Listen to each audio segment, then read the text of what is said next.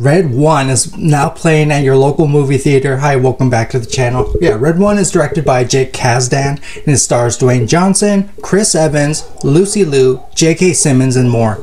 Yeah, let me just say right off the bat, it's a fun, ridiculous ride from beginning to end, and I'll tell you a little bit about it. But first, consider subscribing to the channel.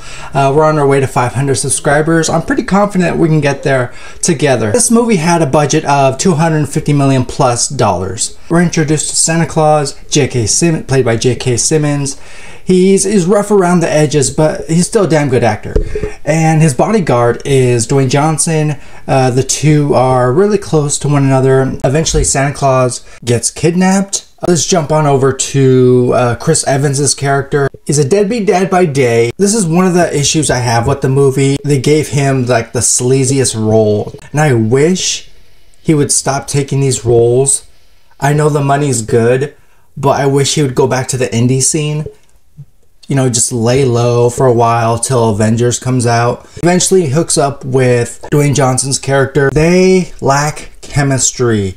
They spend a lot of time together in the movie, and they just lack chemistry. I mean, they're not funny. They are just on this mission. They're stuck together, trying to track down who kidnapped Santa Claus. Scenes don't stand out their you know performances are here nor there. But i'm gonna go out and on a, on a limb and say that you should go out and see this movie with the family.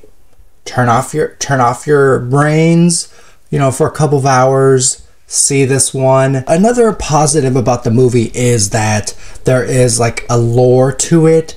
There it turns out there are a lot of myth mythical creatures that exist like for instance, there is a, a scene in which uh, the headless horseman pops up.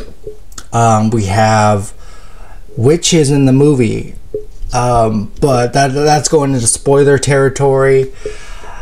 But nonetheless, I think you'll you'll have some entertainment. There's it does have some entertainment purposes.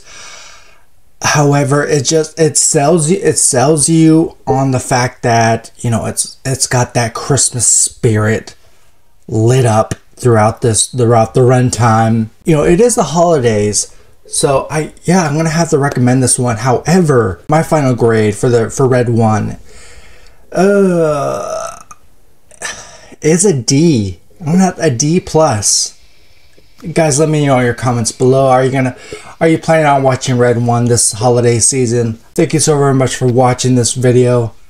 See you guys very soon. Bye bye folks if you like this video go ahead and hit that subscribe button. It really helps out in the long run. Dark room reviews it's the place you should be subscribed to. Join the channel. It's free